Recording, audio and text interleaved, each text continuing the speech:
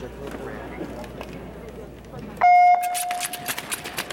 go Bousquet four. Bousquet Départ explosif de la part de Benjamin Bousquet, qui est terminé 14e. Bousquet! Gilding qui revient au train.